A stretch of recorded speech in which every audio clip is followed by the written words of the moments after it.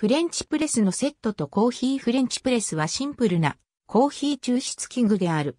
1929年にイタリア人デザイナーのアッティリオ・カリマーニが特許を取得している。別名プレスポット、カフェプレス、コーヒープレス、コーヒープランジャー、カフェティエール、カフェティエールアピストンと呼ばれている。フレンチプレスは世界中で色々な名前で呼ばれている。イタリアではカフェティエラースタントゥフォとして知られている。ニュージーランド、オーストラリア及び南アフリカではこの器具はコーヒープランジャーとして知られており、この器具で抽出したコーヒーはプランジャーコーヒーと呼ばれている。フランス人は例えばメディオールやボダムのような一般的な商標で呼ぶこともあるが、フランス語の名称はカフェティエールアピストンである。イギリス及びオランダではこの器具はカフェティエールと呼ばれているが、これはフランス語でコーヒーメーカーやポットを指す言葉である。アメリカとカナダではフレンチプレス、またはコーヒープレスと呼ばれている。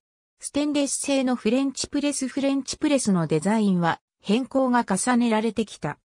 最初のコーヒープレスはフランスで作られたと考えられるが、現在のコーヒープレスの原型となった棒につけられた金属もしくは寒冷車でできたふるいを熱湯を入れたポットの中に押し込むというものであった。このコーヒープレスは1929年にミラノのアッティリオ・カリマーニが特許を取得した。その後、ファリエロ・ボンダニーニによりデザインの変更が加えられた。ボンダニーニは1958年にこの改良型の特許を取得し、フランスのマーティン SA というクラリネット工場で生産を始め、そこでこの器具は流行した。さらに、イギリスの Household Articles Limited という会社、そして特にデンマークの食器と台所用品の会社であるボダムによりヨーロッパ中に普及した。現在のフレンチプレスは通常ガラス製もしくは透明プラスチック製の細い円筒状の容器に金属製もしくはプラスチック製の蓋がついたものの中に針金もしくはナイロンメッシュ製のフィルターがついたプランジャーが隙間なく取り付けてある。メディアを再生するフレンチプレスでコーヒーを抽出している。様子フレンチプレスでコーヒーを入れる際には、コーヒーフィルターで行う時より粗いコーヒー粉が必要である。よく引いた粉は水中に浸した時に粗い粉よりも透過性が低いため、プランジャーを下げる時により大きな力を要するためである。加えて、よく引いたコーヒーはプレスフィルターの周囲と粉により水が染み込みやすい。コーヒーは空容器にコーヒー粉を入れ、湯を加えれば抽出できる。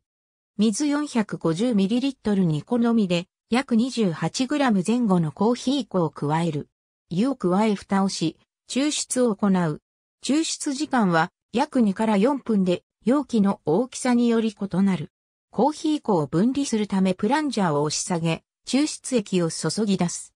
この時にコーヒー液を別の容器に移し替えるのが望ましい抽出液が粉と共にフレンチプレス内に残っているとコーヒーが渋く苦くなってしまうからである。ただし、これはフレンチプレスを利用する上での利点でもある。一般的にコーヒーの抽出時間は4分程度が最適とされている。約20分後にはコーヒーがまずくなると考える人もいる。水出しコーヒーなどの場合には、望ましい濃度まで抽出するまでに数時間、進出させる必要がある場合もある。フレンチプレスは、他のコーヒーメーカーより、持ち運びが簡単で、他の道具を必要としない。旅行用マグの形のものは、他の一般的なガラスより、丈夫なプラスチックでできており、飲み口のある蓋がついている。様々な形のものが重い金属製のパーコレーターやドリップフィルターを持ち運ぶのを好まない旅行者向けに発売されている。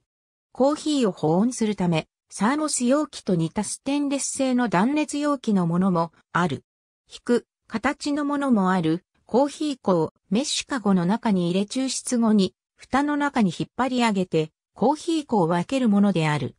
それと似たような形で、容器上部の開閉部を閉めることで、抽出液からコーヒー粉を完全に取り除くことができる製品もある。フレンチプレスは冷水で抽出するダッチコーヒーを作る際にも用いられることがある。コーヒーと同様にフレンチプレスは茶葉を抽出する際に茶かごの代わりに用いることもできる。茶葉はプランジャーを押した後も液中に浸ったままになり、これによりフレンチプレス中に残った茶が苦くなりすぎる場合がある。これは茶の抽出液を直接カップに注ぐのではなく、ティーポットに移し替えることで防ぐことができる。ありがとうございます。